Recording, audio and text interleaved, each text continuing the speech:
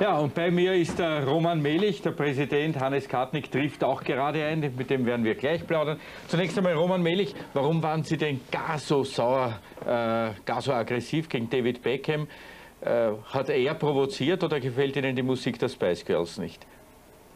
Na, das hat weder mit dem einen noch mit dem anderen was zu tun, aber ich denke mal, wir müssen aggressiv sein im Spiel. Vielleicht war es ein bisschen übertrieben, aber gerade der Beckham, glaube ich, hat so aufreizend gespielt und unfair gespielt zeitweise, wo oft der Schiedsrichter weggesehen hat, dass dass er das vielleicht auch etwas angeheizt hat. Er hat sicherlich einmal ein schweres Foul ohne Ball, wie er nachgeschlagen hat, begangen, wurde vom Schiedsrichter auch nicht gesehen. Sowas macht einen natürlich noch mehr aggressiv, als man von Haus aus sowieso schon ist.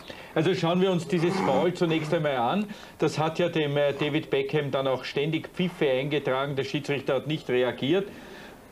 Das ist allerdings der Zweikampf mit Roman Melich. Da hat er mal ins Gesicht geschlagen. Und jetzt begann diese Rangelei.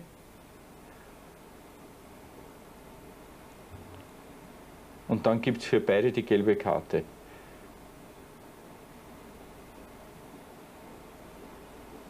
Wenn Sie das so sehen, sind Sie noch immer der Meinung, dass es richtig war, so aggressiv zu sein? Ich denke schon, wir müssen aggressiv sein gegen so einen starken Gegner. Ich glaube nicht, dass ich mir wegen dem jetzt dann irgendwas vorzuwerfen habe. Äh, hat er provoziert, auch während des Spiels schon vorher, David Beckham? Hat er den Star hervorgekehrt? Nein, ich weiß nicht, müssen wir, wir müssen, ich glaube nicht, dass es jetzt richtig ist, jetzt dann die ganze Zeit über David Beckham ja. zu sprechen. Wir haben gegen Manchester gespielt und bitte nicht gegen David Beckham. Und von Beckham war heute nicht sehr viel zu sehen. Gut, schauen wir uns das Spiel ein bisschen an. Äh, es hat ja begonnen äh, relativ gut für Sturm, 17 Minuten lang. Dann kam dieses Tor. Wie haben Sie das gesehen? Ist das ein, ein Treffer, der äh, dem Torhüter anzulasten ist aus Ihrer Sicht? Ja, zuerst einmal wieder, glaube ich, noch leicht abgefälscht war von Kasimir sehr schwer zu sehen. Und zum Zweiten steht es mir sicher jetzt nicht zu, irgendein anderer Spieler eine Schuld anzulasten wegen einem Gegentreffer. Der Ivo hat es im Interview kurz und gut ausgedrückt, wir gewinnen zusammen und wir verlieren auch zusammen. Aber ich meine, hier dreht sich der Ball leicht zur Seite der sieht ihm sehr spät, es war schwer zum Halten. Dann in der 31. Minute dieser zweite Treffer. Da haben wir auch in der Pause mit dem Präsidenten drüber gesprochen. Da hat er auch gemeint, naja, also ganz glücklich schaut da die Abwehr und der Torhüter nicht aus.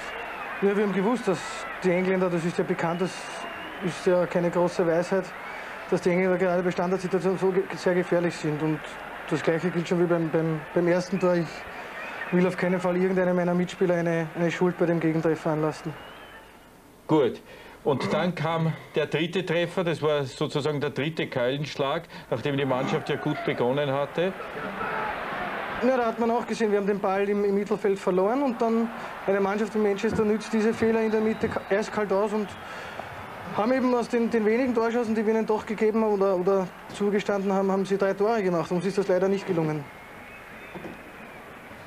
Es ist klar, wenn, wenn solche Stürmer wie, wie Manchester sie hat, wenn die eine Chance haben, dann ist das fast immer ein Tor.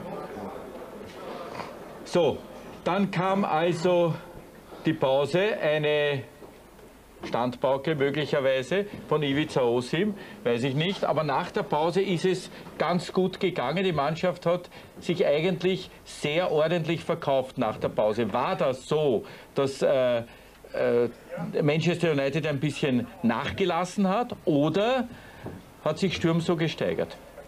Ich meine nicht, dass zur Halbzeit eine Standpauke nötig war, weil die Fehler, die wir gemacht haben, die haben wir gesehen.